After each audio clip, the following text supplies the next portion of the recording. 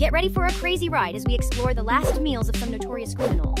Some of these choices are so bizarre you won't believe it. First up, we have the infamous Ted Bundy. Surprisingly, he didn't actually request any food for his last meal. He was given the standard death row meal, which included toast, steak, hash browns, eggs, coffee, milk, and juice. But even with all those options, he refused to take a single bite. But that's not as strange as Prisoner 2, who chose a meal that only lasted one bite. Murderer Victor Feguer requested one olive with a pit, hoping that it would sprout into an olive tree as a symbol of peace after he died. Then there's Clarence Dixon, who was convicted of killing a student named Dina. His final words were, Maybe I'll see you on the other side, Dina. And he requested KFC, strawberry ice cream, and a bottle of water. And last but not least, we have Lady Killer herself, Aileen Wuornos.